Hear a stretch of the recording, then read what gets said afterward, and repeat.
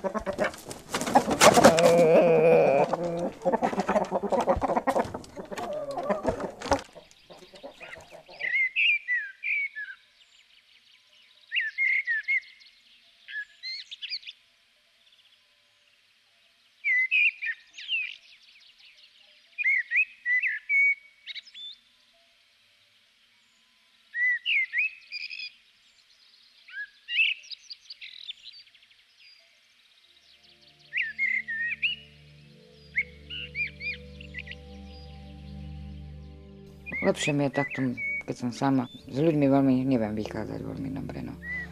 Nie, že neviem vychádzať, mám aj kamarátky a dobre aj dole, ale lepšie mi je takto, no. Otec mi skoro zomrel, mama teraz v roku 2000 bola chora veľmi. Mám ešte štyroch súrodencov, bo jedna mi zomrela sestra, mala vyše 50 rokov. Boli sme z chudobnej rodiny, no, celkové len taký jednoduchý život som viedla.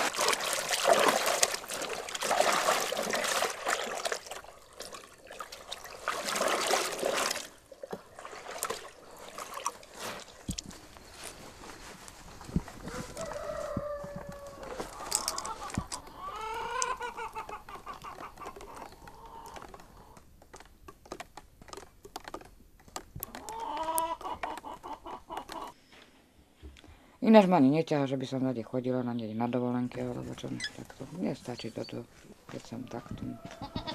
Už ideš von, neboj sa.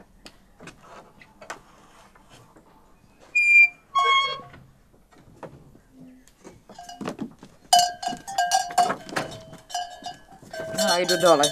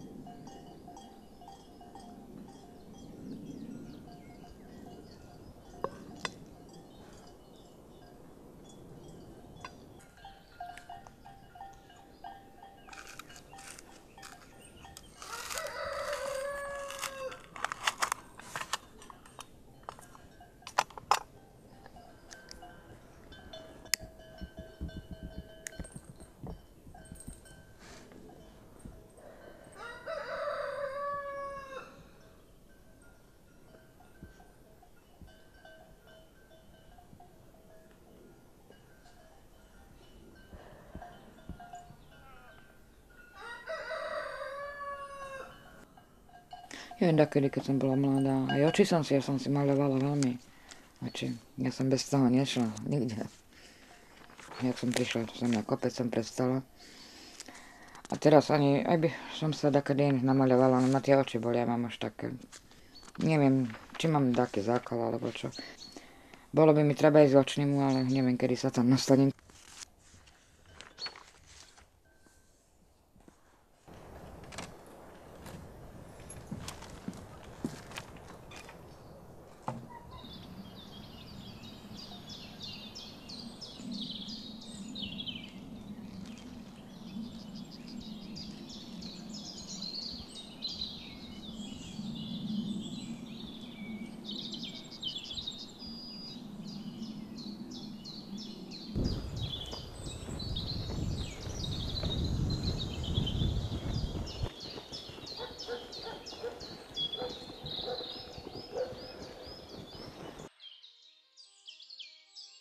Šťastie.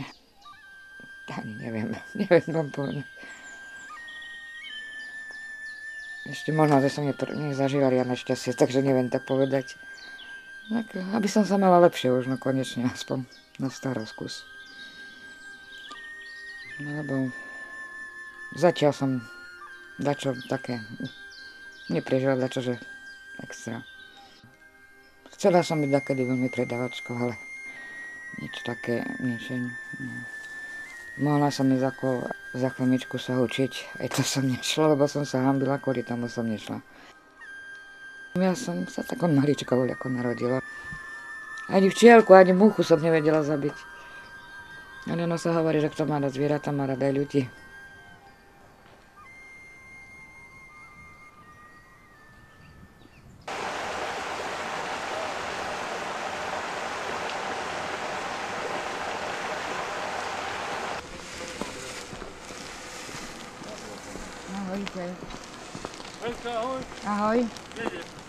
Na chvíľu. Tak.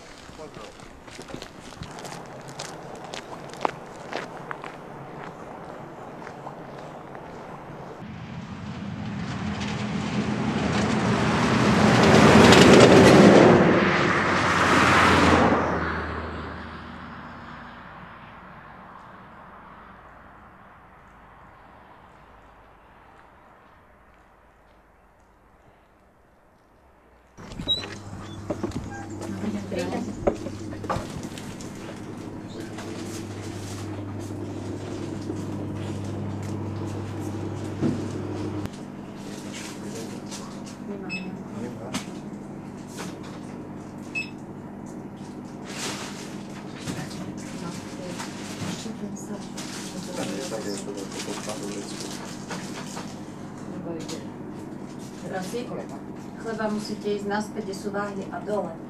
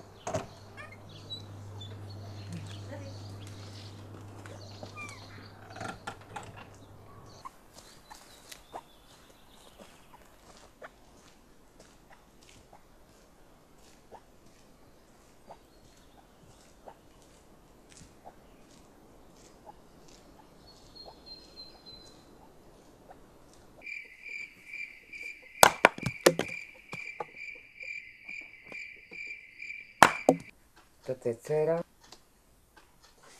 Toto je ten čierny starý kocúrik, aj s tou, čo bola na šporáku. Toto je vnúčik, vonku zo školy. Zaď ležal, sa opaľoval. Driemal. Vnúčka. A To je vnúčka. Pokiaľ keď nemali túto malú, tak chodili. Sľúbili sa toto leto, tak neviem, možno aj prídu.